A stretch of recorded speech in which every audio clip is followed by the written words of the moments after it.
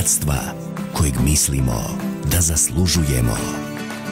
Popločen je taštinom i ambicijom, no najveća prepreka do tog cilja ono je što izvire iz našeg srca. Teresa od ponedjeljka do petka u 14.30. Doma TV.